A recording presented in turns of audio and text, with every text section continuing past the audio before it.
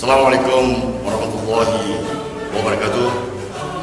Dirgahayu Republik Indonesia yang ke-75. Semoga Indonesia tetap maju, martabat, hebat, bermandiri, selalu menjunjung tinggi dalam adab dan peradaban. Semoga juga Indonesia tetap menjunjung tinggi apa yang telah diperjuangkan oleh para pejuang-pejuang kita. Semangat, tetap bersemangat, Indonesia maju. Assalamualaikum warahmatullahi wabarakatuh.